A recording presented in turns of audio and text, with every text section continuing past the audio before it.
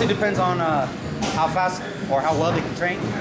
But um, I'm thinking Mike Tyson. If, if Tyson can get into Roy Jones' defense, he's got him. If he still got that. If you could fight one of them, who would you want to fight? I don't want to fight Roy Jones. You would? Yeah. Why? Because after I beat him, I'll go to Mike Tyson. Well, what would you do against Mike? What do you give yourself? What kind of chances? I'll give myself uh, an eight and a half. I like the confidence, Pita. After he beats Roy Jones, he wants to fight Mike Tyson and he gives himself an 85% chance of winning. That's good. All I gotta do is gain 60 pounds and I'll be there. It's easy. Yeah, it's easy. It's harder to I can do that in a week. Um, Gervonta Davis, Leo Santa Cruz. Um, Honestly, if Leo Santa Cruz has that punch volume that he always has, he can get Gervonta Davis if he works on his defensive punch and is able to make him miss and tire out, then Leo Santa Cruz has got it. If, if I'm not mistaken, you sparred Ryan Garcia. Yeah, a while back. No, I know, but he's very talented. He's fast. He is Very hard. talented, what do you yeah. think about his fight with Luke Campbell? Luke Campbell, it's a good, it's a good match for him. I'm, I'm excited to see it. Um, you know, all respect to Ryan, all respect to Luke Campbell.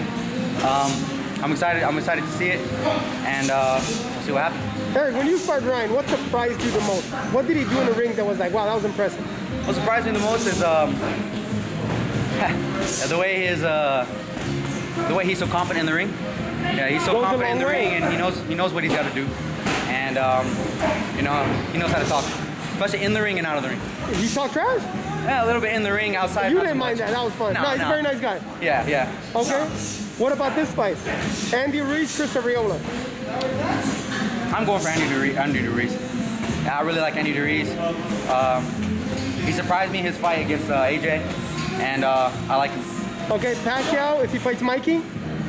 Pacquiao, Mikey. Of course, Mikey. I want Mikey to win. Pacquiao Crawford. Pacquiao, Crawford. If uh, that ever comes, I like Crawford. But who knows? Tell people where to follow you. Follow me at eric.puente818 on Instagram. Any message to Mike Tyson or Roy Jones? Mike Tyson Roy Jones is coming for you. All you gotta do is gain that 70 pounds. Easy work. Coming. Yeah. Easy work.